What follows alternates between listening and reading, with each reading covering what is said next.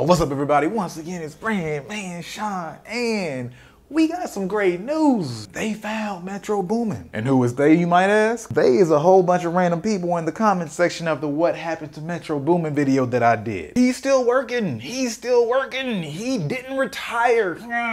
And of course, it's true. You can just Google Metro Boomin shows and see that the man has still been working. A few weeks ago, one of the homies was actually live streaming Metro Boomin while he was on stage from, I don't know, some concert. As a matter of fact, soon after Metro Boomin announced that he retired, Gucci Mane said that he was gonna give him a meal to get back into the game. And a few days later, I don't know whether he gave him a meal or not, but Metro Boomin and Gucci were working together. Gucci streamed it.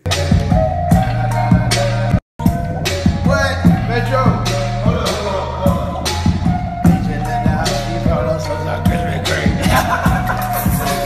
This is a perfect time for me to be able to clarify the pull-out strategy for those of you who want to use it for yourself because it had nothing to do with Metro Boomin retiring. I can't even speak for the man. I can't say for sure dude was just sitting in the room one day and said, you know what? I'm gonna pull out on these O's. But the beauty is, this was not about his retirement at all. It doesn't even matter. For whatever reason somebody decides to lay low and chill, the fans still get the same effect. To keep it real, that's exactly how a lot of people win in marketing by mistake. There's a lot of things that people do with one intention or no intentions at all, but all of a sudden it just happens to be this great marketing moment that just works for them. Think about 21 Savage when he said it's a knife. He was just being him. He was being real, telling the truth. For whatever reason, people who ain't from Atlanta thought it was the funniest thing in the world. That thing kept rolling and he branded it. So let's get back into the strategy. How is the pullout method still working if Metro Boomin is still working himself? And that answer is simple. It's about exposure, not effort. I'm pretty sure Dr. Dre still makes beats. I'm pretty sure Eminem had been recording in the studio years before he dropped another project. And it's not like any of these people that you're not hearing about just stop living life and sit still in the corner of a room. The biggest difference is they're not doing something where they're searching for a massive amount of exposure. They're not pushing that button for the PR campaigns to go to work for them. You think whenever these people donate money and you find out about it, it's just because other people reported it? Most of the times, if you know that somebody donated some money to a place,